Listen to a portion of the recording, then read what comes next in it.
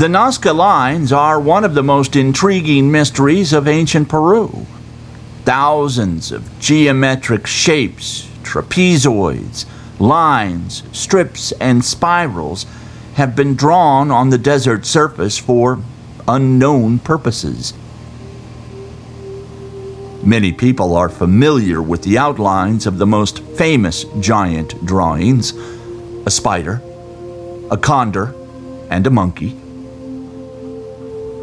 The question that has always puzzled archaeologists and others who study the history of South America is how did they get there?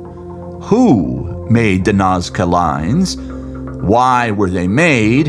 And made with such precision. The first real reports of the lines came from Peruvian military and civilian pilots who flew over the area in the 1920s.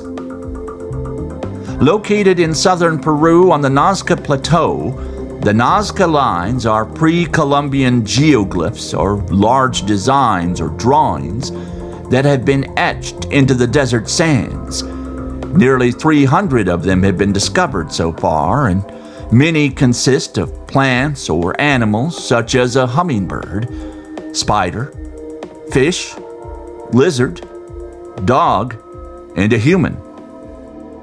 Other shapes include trees and flowers.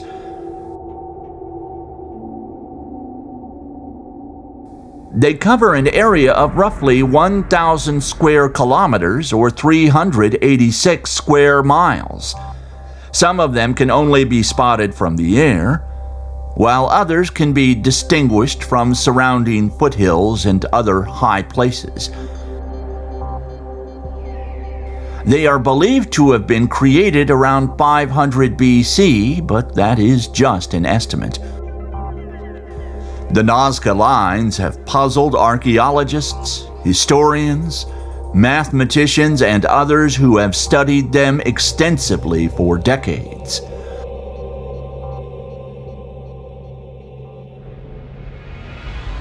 But few people know about the existence of another set of huge drawings that were only just recently discovered. The first of these were spotted by tourists who were flying over the Nazca Plateau in the 1990s.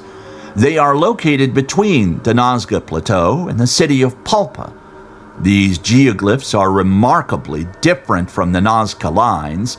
They are known as estrellas, or stars. This is what they look like from the air. These drawings or designs are nothing like the traditional Nazca geoglyphs. These designs represent geometric and other mathematical equations that consist of circles, squares, and points. It is hard to make out these designs from the surface. They look like sloppy and uneven rows of stones and lines that could have been drawn by dragging a foot or a stick. Stones or heaps of stones have been piled at various locations. Ancient and rotted poles have also been placed at the site of the Estrellas, which may or may not have been used by the builders. This is one of the largest designs ever discovered in Peru. It is more than 130 meters or 142 yards in size. From a ground level view, it is nearly impossible to understand what is depicted. Academic science has largely ignored it. Some even call it nothing more than a tourist trap, which can be easy to understand. Yet, there are some who believe that whatever is depicted here has a much deeper meaning. As it turns out, this is not the only image of this kind. On the edge of this plateau is another similar design that was also just recently discovered.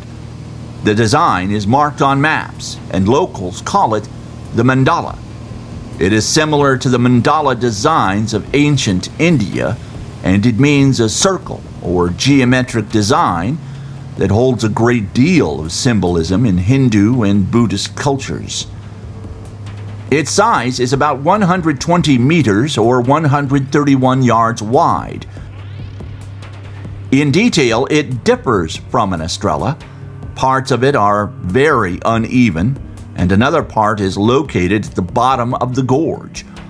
At the same time, the proportions of this geoglyph are very precise. The outline of it looks perfect when viewed from above, and its construction is very complex.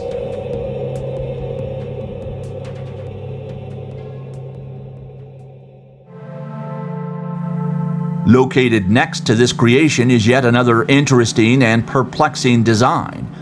It connects to both sides of a canyon. Located at each end, there are depictions of small stars.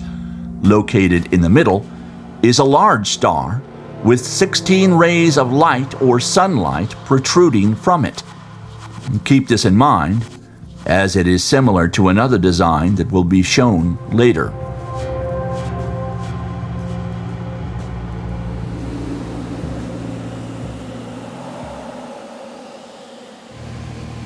During a flight over the Palpa area in 2010, we were fortunate enough to find several similar images in the same area. These are rather large and complex designs and not always completely visible at first. They cannot be seen from satellite views of the area, and they are nearly impossible to spot from an airplane. The images only come into view with high resolution photos. Part of this design can be seen through these pictures. A similar design with a much more complex pattern is located a few hundred feet away. In both cases, the design of each creation can only be spotted from the air. A bird's eye view of this design offers a different perspective, and the existence of this creation only creates more questions and mystery. This might be the most difficult and creative geoglyph on the Nazca Plateau. The center of this design is clearly visible. There are eight layered circles in total. The width of the central section is 35 meters or 114 feet. The width of the design is about 200 meters or 218 yards, about the length of two football fields.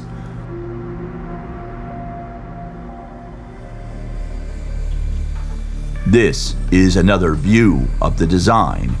It is located near the crossroad.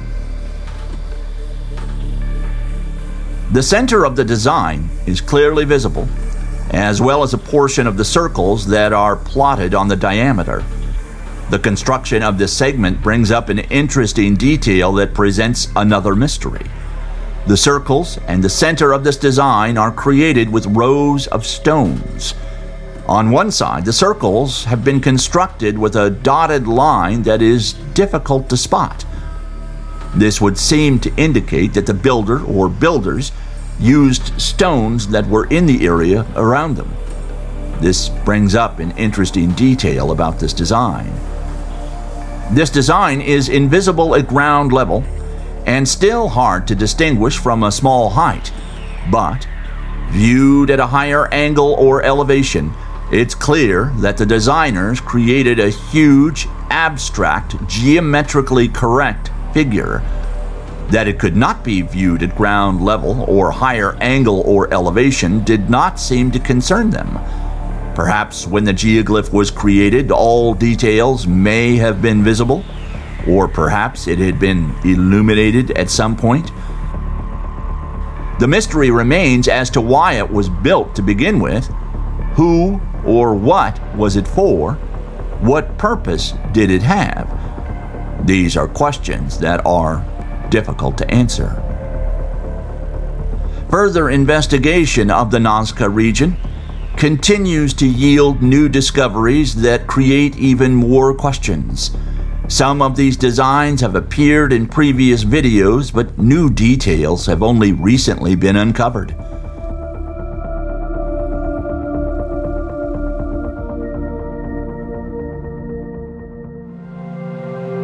One example of this is a simple Estrella design. Located on a hill of natural or perhaps artificial origin, the central stone used in this design is clearly visible. It is surrounded by eight stones located in a circle. Eight rays radiate from this circle and stretch quite far. The stones are arranged at regular intervals in a 100 meter circle. Beams were constructed without any particular distance between stones.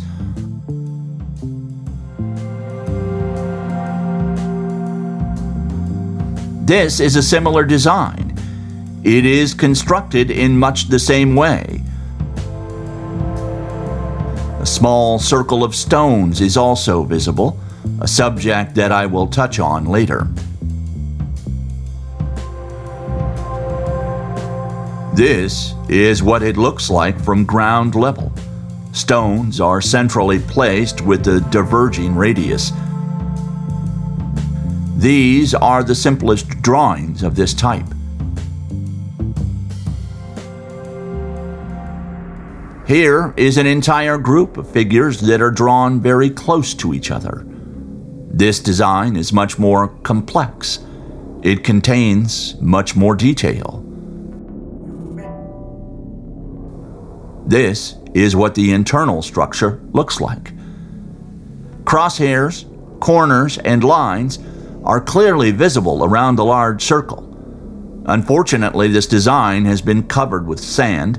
A lot of it has been lost, and it is no longer possible to create a detailed drawing. Nearby, there is a design which is very similar to the mandala shown earlier. This is how the center of this design looks like from the ground level. The lines of it are very similar to the traditional Nazca lines. The next picture appears to represent concentric circles. These figures are approximately the same size. They are concentric circles that have diameters of 28, 56, and 112 meters.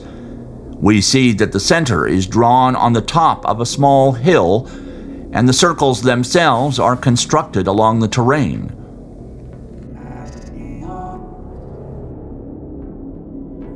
Just 100 meters away, or 109 yards, we discovered the exact same image constructed in what appears to be the exact same way. Here is its center, the first circle, then the second. And we also see how the largest of the circles was constructed. Why was it necessary to draw or create circles in such a complex way? Why was it created to begin with? Who was it created for? The circles do not appear to be perfect from images taken directly above it but a lot of the perception depends upon the angle which the drone camera is shooting at. At a great height, the two circles appear to be correct. The greater the height, the more uniform the circles appear to be. What the purpose of this was, or who it was for, remains unknown.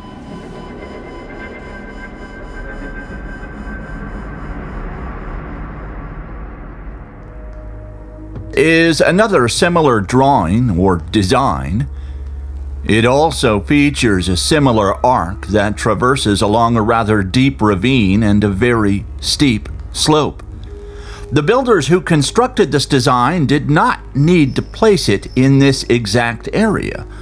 There was enough free flat space nearby Distortions of a large circle passing along the bottom of the ravine are clearly visible, and that's because of the angle of the drone's camera.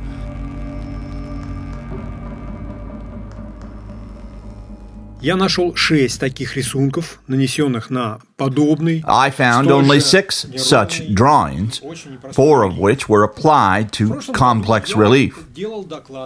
Last year, when I gave a report on the Nazca lines, I showed this diagram. It roughly shows the locations of Estrella-like figures. On satellite maps, such images are practically invisible, and therefore it was made according to very indirect and imperceptible signs. It had been suggested that some of the Estrellas could be connected by lines of stones.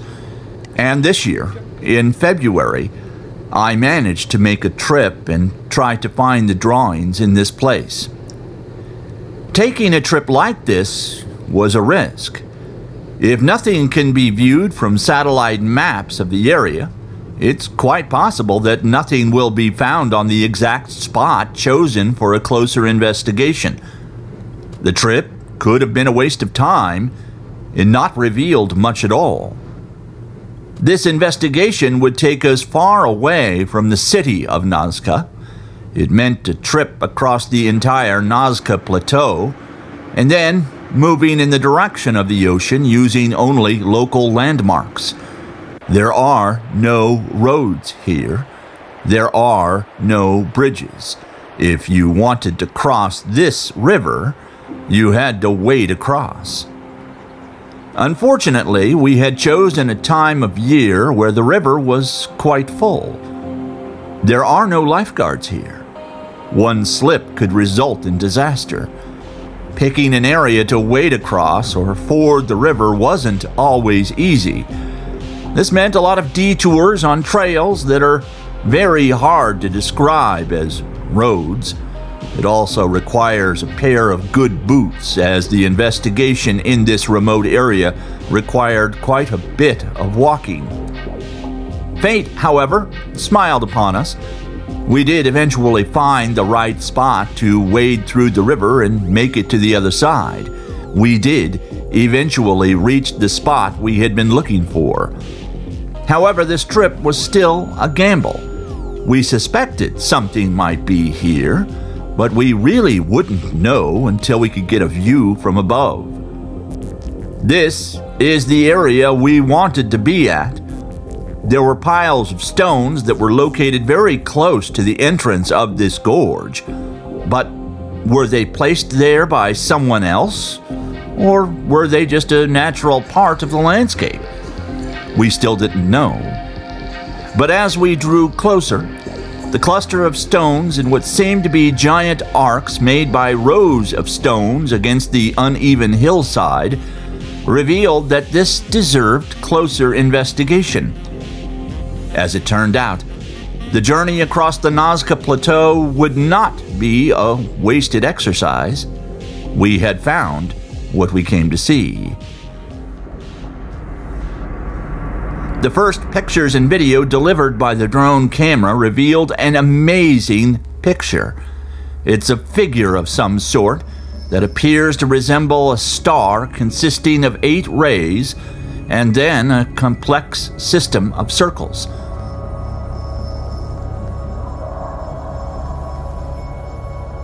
Untouched by time and the elements, this intricate internal construction of this geoglyph features many different elements. The drone footage revealed shapes that can only be seen from above crosses, points, lines, and intricate corners. Several separate circles are visible here, and there is also a star shaped structure at the top of the hill this is a whole group of previously undiscovered estrellas. Time and shifting winds partially covered the geoglyph with sand, and it also had been damaged by a nearby road.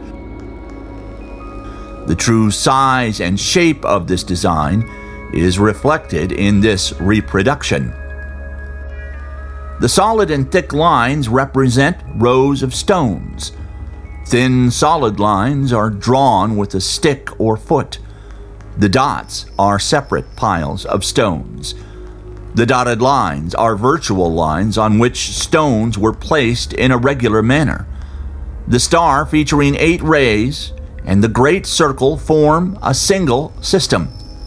The circles on the right and the star at the top were most likely drawn separately.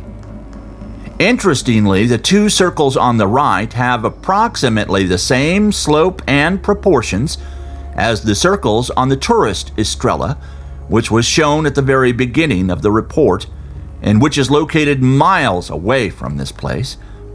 It is assumed that the authors of both Estrellas are the same and that the people who constructed these figures pursued a specific goal. There is another important detail to consider. The thick gray dotted line in this illustration represents the center line of the piles of stones that runs through the gorge and connects all estrellas into a single combination.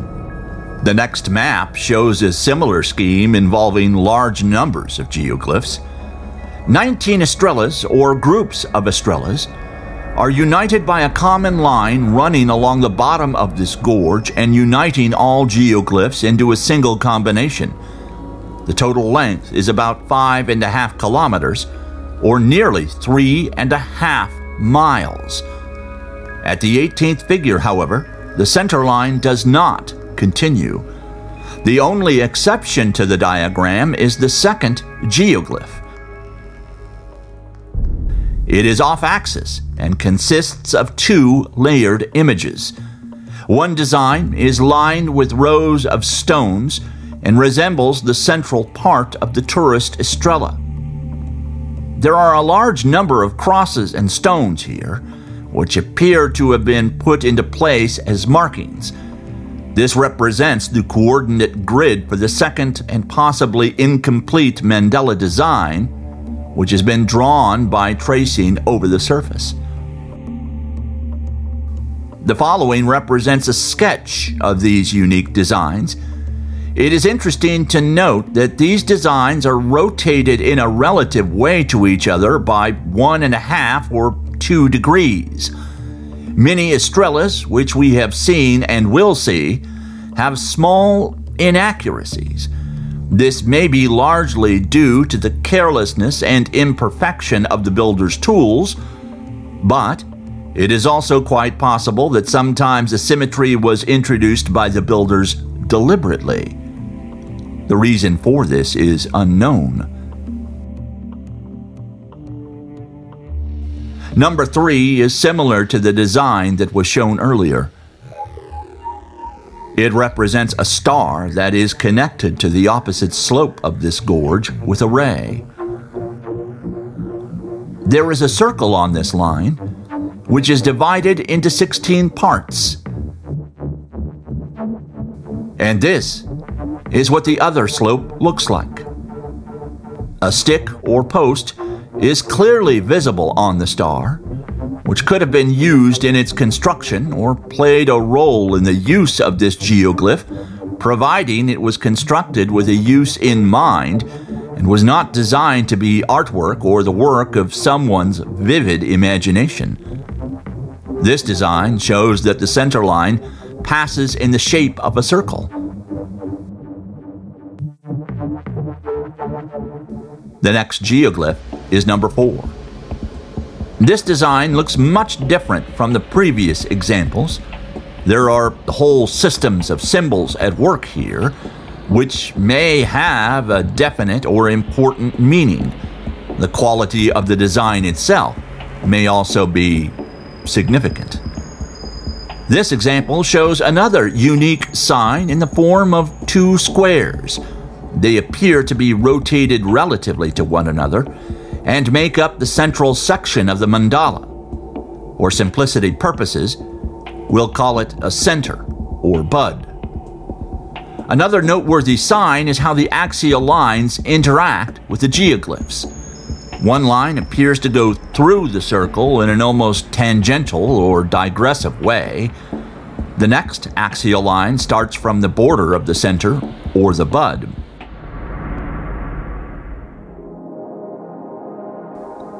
This is geoglyph number five, representing the bud and circles. The axial line here is still clearly visible. It stretches to geoglyph number 4, which has already been examined. At this location, the gorge becomes very narrow and makes a small zigzag feature. The Estrellas here appear to carry a number of designations, such as possibly designating the turn of an axle. The next group is also unusual, consisting of a bud and triangles. The location of the triangles appears to indicate the slopes of the gorge itself. The next geoglyph is also a bud and triangles that appear to point along the gorge to the nearest open location. This is unlike any other Estrella, since the triangles appear to indicate turns in the gorge itself in the narrowest of areas, as if it were almost designed for aircraft entering or departing the area. The shots taken from the overhead drone at least seem to show this is what the triangles may have been for. A sketch of the fifth and sixth geoglyphs reveals another interesting feature. The adjustment of the angles of the geoglyphs to the axial lines is clearly visible. But what purpose did it serve? The seventh design is remarkable in that the bud is superimposed on the triangles.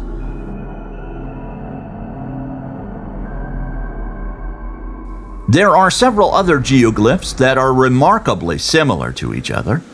The tenth design represents a simple bud that appears to mark an axial break. Other remarkable finds may reveal clues about when the geoglyphs were made, and possibly why.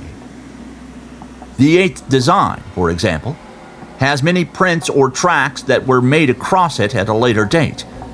Some of them belong to modern motorcycles which have traversed this area, such as the clearly visible trail on the ninth geoglyph.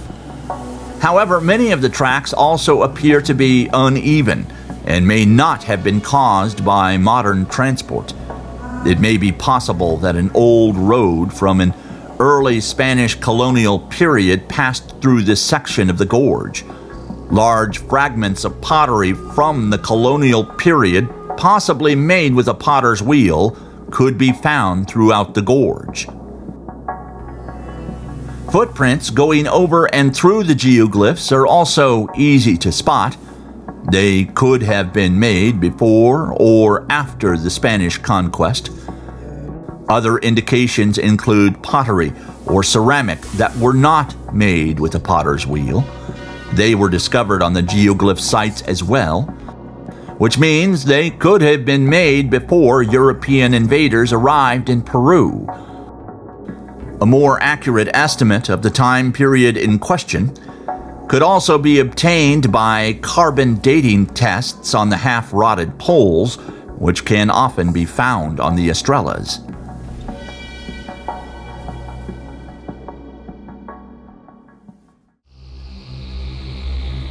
We sent our drone camera to fly over the axial line, which clearly reveals how it was made. There are heaps of stones here, interspersed with short lines. The 17th Estrella that we looked closely at is somewhat different from its predecessors and creates even more questions. It has an irregular structure, and many of its details are not comprehensible at this point. Further investigation and study here may yield additional answers. The schematic drawing of the Estrella provides a clearer picture. This design is connected by a straight line with what appear to be several figures. This would seem to imply an overall plan for this design this may be a large group of several estrellas that are each more than one kilometer or a little more than half mile in size. It is crossed by several diameters on which short lines are clearly visible. From the ground level, this diameter is barely visible. But from above, it begins to take on an entirely new shape that appears to serve some sort of purpose. Stones were discovered on the slope. A row of stones were also found passing through the center of the geoglyph, which, by the way, looks incomprehensible and sloppy from the ground level.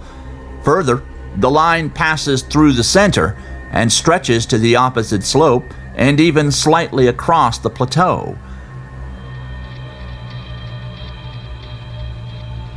This is the end of the entire Estrella group. After the 18th, neither axial nor other geoglyphs were found. However, the area still merits further investigation.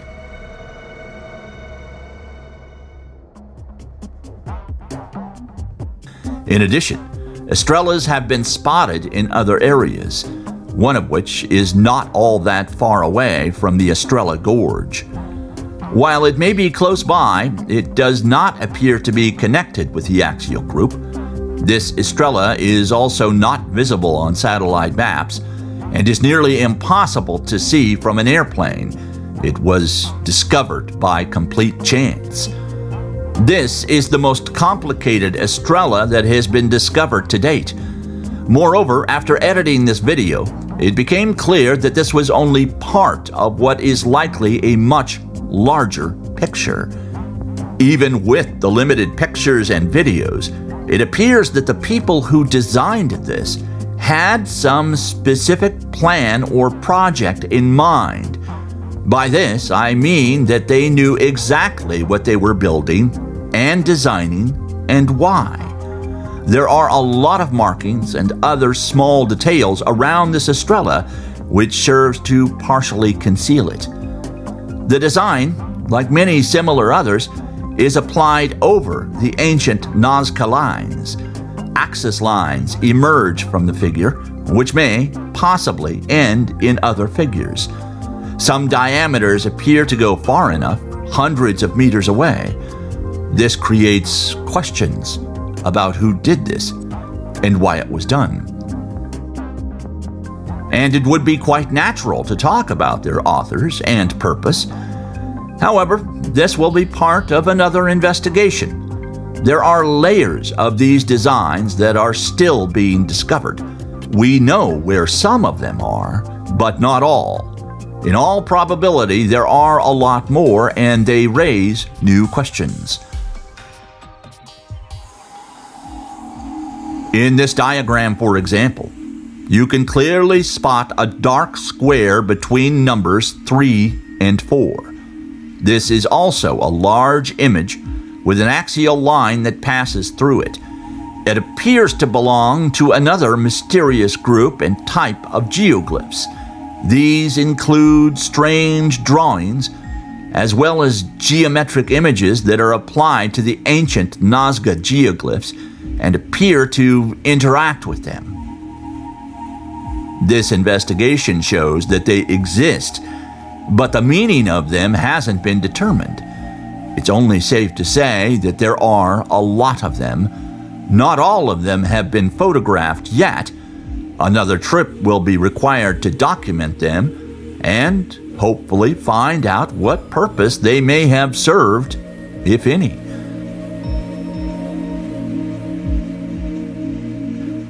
However, we can make the following assumptions about what has been discovered. These designs were not recently created and are not designed to draw tourists to the area. More than 100 of geoglyphs like this have been discovered so far, and it's likely there are many more. They are also scattered over a fairly large area that correspond to the ancient settlements of the Nazca population. Many of these geoglyphs are drawn on the traditional Nazca lines, Fragments of ancient ceramics can often be found on the Estrellas, which indicates their pre Hispanic origin. Another point to make is this Archaeologists now believe that the Huari culture of Peru absorbed the Nazca culture and people. The Huari culture is credited for creating the tokapu, which is a set of signs that are often depicted on textiles and ceramics. And these symbols are very similar to the details of the Estrella designs or geoglyphs that have been just recently discovered. It's also possible that, given the later age of the Estrellas when compared with the Nazca lines, that these creations were just a continuation of the construction of geoglyphs. It's also possible that these developments took place in the Huari culture which continued up until the Spanish conquest of Central and South America. Theories abound about who created the Nazca lines and why. Anthropologists, ethnologists, and archaeologists alike have studied these areas extensively. Some suggest they were created to be seen by ancient gods, Still others suggest the figures suggest constellations of stars in nearby solar systems. And there are some who believe they have something to do with the directions of winter solstice and equinox sunset. The purpose of the Estrella figures and why they were made may never be discovered. They remain as much of a mystery as the Nazca lines which continue to create new theories as to why they were built and who or what they were built for.